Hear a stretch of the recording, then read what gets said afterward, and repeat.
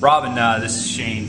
Uh, I've got the setup that you need for Flextronics. So uh, I'm reading an I205 barcode here. You can do whatever you want. It doesn't really matter. I've got a 4800, 2400 will work just fine. CBX box.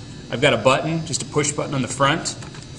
I've got a light to show hey you you read it, and this will light up if we get a good read out of that. CBX box. I'm coming into a to my normal uh, RS232 to USB port, and I have a Notepad open on a an XP machine on my desktop.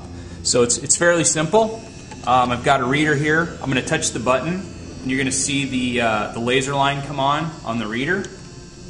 And once I get a good read, it'll output that data directly onto the screen through key, the keyboard wedge that I sent you. So I'm going to do this again, and just to prove it to you that it does work, yes, it does work, I'm going to hit this, and that data is coming directly onto the screen.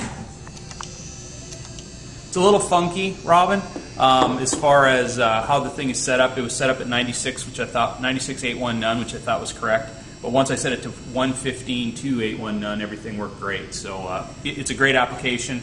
Should be able to totally win this deal. Thank you.